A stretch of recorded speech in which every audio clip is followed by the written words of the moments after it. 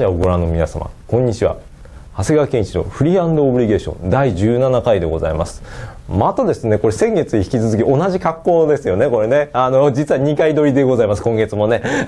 いろいろ話したいことなかなかあるのでね。あの、やっぱり自分自身もですね、やっぱりこう、こういうところでやっぱり1年以上話してるので、もっと幅を広げるっていうこともありますし、あと専門性を深める。で、あとは自分自身もそんなに喋りが上手くないですからね、そういったところね、あの話もね、上手くなりたいっていうのがあるので、やっぱりそういうところもあって、あの、こんな風にあのね、話もしているという、二つトピックを選んでね、あの、同じ日にレあ収録しているという、そういう流れでございます。えー、そういったわけで、えー、本題の方行きましょう。今回はですね、えー、過去最低の出生率をどう克服するか。というテーマでございます。非常に重いですね、テーマとしてね。これすごく重いんですけれども、まあ自分もね、そんな大した知識があるわけじゃないんですが、まあどこまで話せるかなっていうところでありますけれども、えー、ちょっとね、話をしていこうと思います。まず1枚目のスライドご覧ください。えっ、ー、と、過去最低の出生数というね、あ見出しなんですけども、今年、2019年の、10月7日、日経新聞にて、今年の子供の出生数がですね、90万人を割るという報道が出ました。で、厚労省の人口動態統計、過去速報においてですね、1月から7月の、出生数は前年比5.9%減の51万8590万人という数字になりました。あこれねちょっと重いなと思うこの数字なんですね。で現在ではですねあの8月1月から8月までのその出生数の数字も厚労省から出ています。であの8月の時点で59万、えー、7171人というその出生数になっているわけなんですね。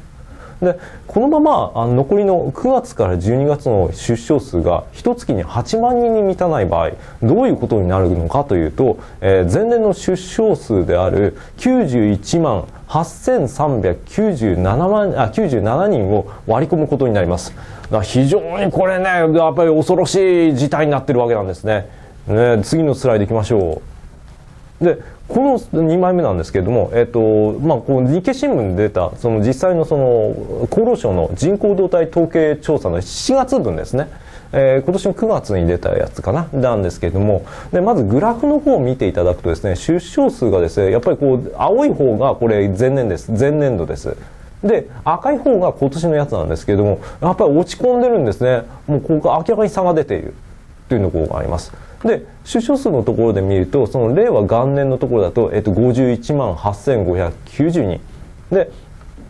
えー、平成30年は55万1061人となっていて、差し引きでですね、マイナス32,471人というそういう数字になっています。まあ、これだけでもすごいなと思うんですけど、これ自分もね、ツイッター上で見つけて、いや、恐ろしいことになったなと思いましたよ。本当に。去年、去年からね、その出生数、出生率の話はしてますけれども、え次のスライド行きましょう。えー、で、これが最新の部分、やつです。最新なんですけれども、えっ、と、令和元年の、あのー8月分の結果なんですけれども、えっと、これもね、相変わらずそのグラフで見てると、やっぱり赤い方ね、やっぱり下回ってるんですね。で、あの、7月から8月までは増えてるんですけど、この前年はね、えー、今年のやつは7月から8月減ってます。で、出生数見てるとですね、えー、まあ先ほど申し上げたように、えー、59万7171人。で、えー、平成30年度が、えーと、50 63万4447人となっていてで差し引きの増減がマイナス3万7276人とやっぱりどんどんどんどん減ってるわけなんですね。もしこのままのペースでいくんであればおそらく88万とか89万とかそのぐらいの人数になっちゃうんじゃないのっていうところはあるんですけれどもねはい次のスライドいきましょうであの厚労省の推計を下回る出生数というところなんですけれどもこれもまた恐ろしい話です。えー、この話題なんですけれども SNS 上でもかなり取り上げられました。実際自分もツイッターで見ててあのこの10月7日のねあの日経新聞のその話とかやっぱりツイッターのトレンドに上がってたんでおこれどういうことと思ってやっぱり見てたんですけどでまとめサイトなどでもですね、えー、若者に金を出し渋った国の末路。日本は存亡の危機。手遅れ感が強いなどといったツイートが取り上げられていたんですね。な自分を見て、ああ、確かにそうだよねと。やっぱりこれは恐ろしいなとやっぱ思ったわけなんです。でさらにですね、えー、この結果の悪いところなんですけれども、えーと、厚労省の推計を下回っていたっていうところなんです。でそもそも厚労省どういう推計を出していたのかというとですね、えー、2017年の時点ではですね今年の出生数が92万人という数字だったんですね。ところがやっぱり今のペースだと、えっと、3万人以上、まあ、下手すると4万人以上かもしれないんですけどもやっぱ減ってるので、えっと、推計よりも2%強下回っているというまあ恐ろしい数字が出ているわけなんですね。いやー怖いですよこれは。で、えー、出生数なんですけどもえっと、出生数及び合計特殊出生数の、え年次推計、推移なんですけども、これ、あの、去年の自分のその出生率の話をした時のその動画を見た方は多分覚えてるかもしれないんですけれども、あの、最新版を出しました。で、もともとですね、こうやっぱりその出生数を見てみるとですね、第一次ベビーブーム、つまりあの昭和22年から、昭和24年の段階なんですけどもその段階だと,、えーと、これ多分昭和24年か昭和24年なんですけども269万6638人になってます。でそこからですね、まあ、日の上までやっぱりあの縁起が良くないから、まあ、子供を産まないっていうところはあったんですけども、えっと、第二次ベビーブームっていうところだと、えー、これ昭和46年から49年ですねこちらの方が、えー、209万、えー、1983人になっていますだからねここここでもちょっともうすでに60万以上か60万人以上減ってますよねでそこから、えっと、平成30年、えっと、つまり去年ですねえー、去年の出生数なんですけれども、えー、最小の出生数になってます。えー、91万8397人。だからこれすごいですよ。差が100で、えっと、およそ170万人以上か、えー、だいぶこの差があるわけなんですね。あの戦後と、えっと、それから今に至るまで。かなりこれはすごいなって見てて改めて見て恐ろしいなっていうところがあるんですけれどもね。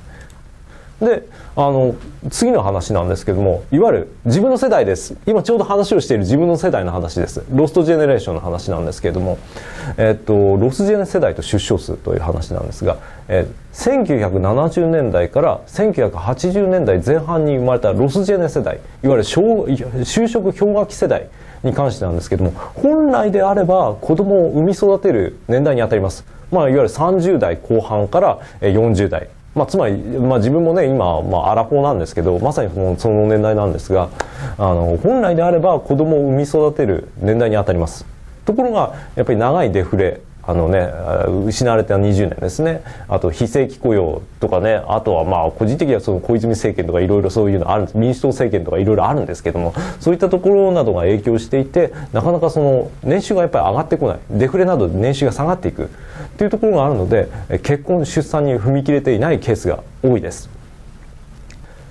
で、えっと、教育社会学者の前田俊彦氏が、えっと、2018年3月29日のニューズウィーク日本版に寄稿した記事があるんですけれども、それによるとですね、えっと、1992年では30代男性の年収中央値が400万を超える件は29件だった。っていう調査が出ています。で、あの年収中央値って何って話なんですけれども、えっ、ー、と、いわゆるその正規雇用とか非正規雇用を含んだ給料をもらっている人のデータを大きい順、もしくはその小さい順に並べていって、その真ん中に来る数字っていうのが、あの、中央値っていうところになります。いわゆる平均値みたいに全部足して、こう割っていくっていうのとは、その計算の出し方が違うんですけれども、まあそういったところでは、えっ、とですね、1992年の段階では、400万を超える件が29件もあったんですね。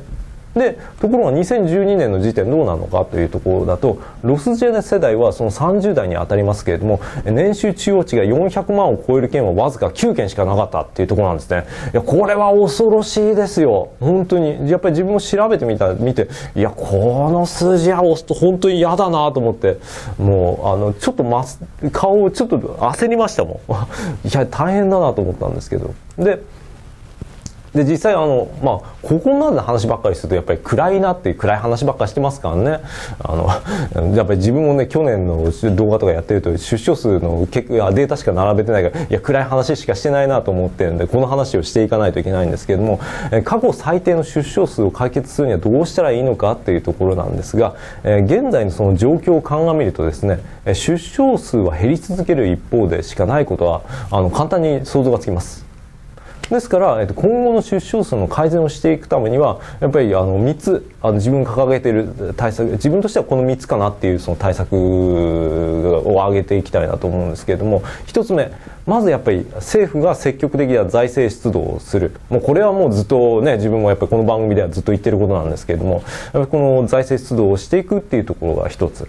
で2つ目えー、大東亜戦争以降のその地域とのつながりが薄れているのでそこを強化していくこと。っていうことがこの2つ。で3つ目。都市部への人口一極集中を早急に解消する。というこの3点がやっぱり必要になってくるんじゃないかなと思います。